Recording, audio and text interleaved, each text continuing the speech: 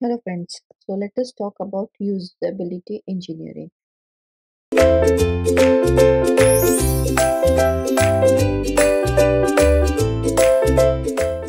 So usability is about one approach. It is the approach to refer about user centered design that has been introduced for explicit usability engineering goals into the design process.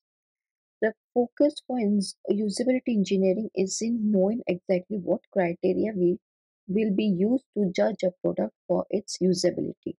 So ultimate test for a product's usability is based on measurement of user experience with it. In relation to the software lifecycle, so one of the feature is usability engineering is the inclusions of usability specification, which makes the requirement specification focus on the features of the user system interaction that contribute to the user product.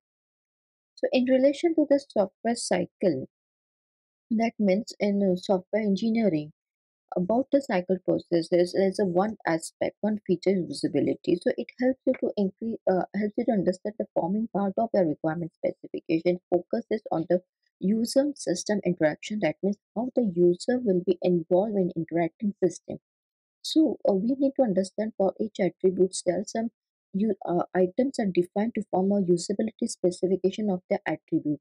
So they have attribute like measuring concept measuring method now level worst case plan level and so on.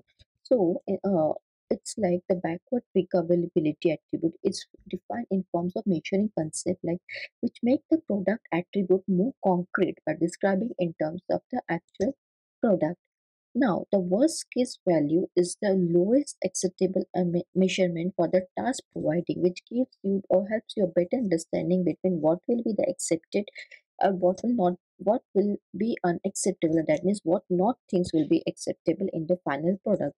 So there is one ISO is defined. So now, uh, before I go to ISO, the remaining four entries in the usability specification then provide the agreed criteria for judging the success of the product based on the measuring method.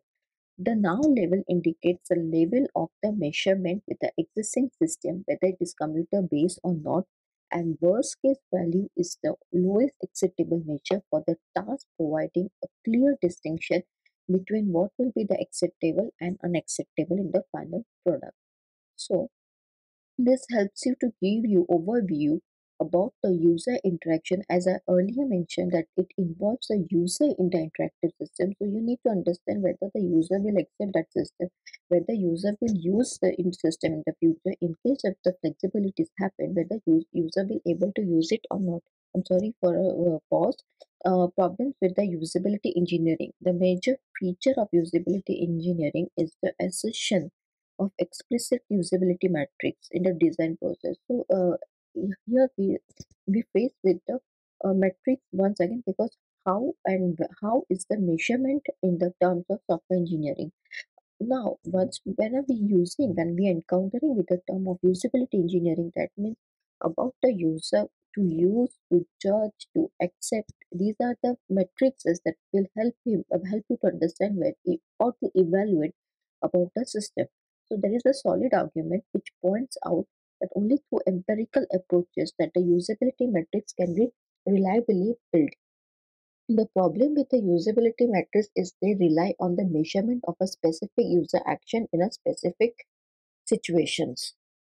The major feature of user uh, engineering is the assertion of the ex- explicit usability metrics only with the design process, which can be used to judge of the system once it is delivered or not. So, whenever we face, whenever we create a system, we always need to uh, have this matrix to understand or to judge whether it, once it is delivered, it could be accepted or not.